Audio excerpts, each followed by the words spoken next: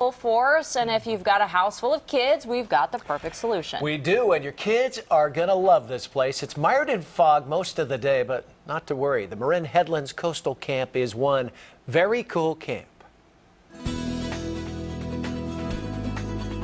Nestled on the north side of the foggy Golden Gate down this windy country road sits the Marin Headlands Coastal Camp.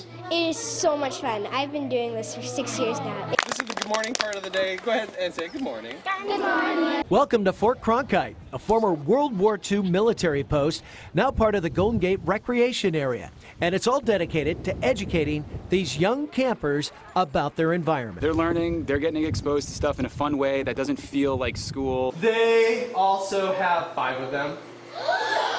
It's hands on learning from starfish to hermit crabs. It's all part of the Marine Biology Lab. The week long day camp takes the classroom outside too, hiking the coastline to find out exactly what animals call the headlands home. These kids that might normally be in a sports camp say this is so much better. To me, science is more interesting than sports. I, It's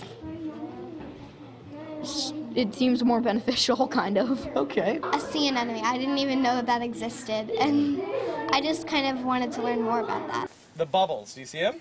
Uh-huh. all sorts of other camps, you don't get to interact with nature, and this camp does exactly that. How about friends? Are you meeting friends? Yes, I've met tons of friends here. Campers leave with local knowledge, not to mention a little exercise and a hearty lunch. The view? Well, that's not half bad either. Marin Headlands Coastal Camp, this week's.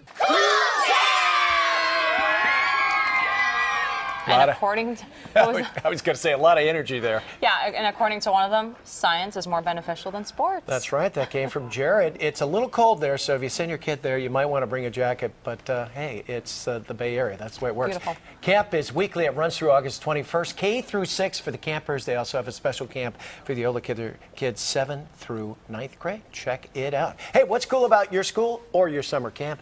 Email your nominations right here at Cool Schools, kpix.com. And Maria and yours truly just might come out and feature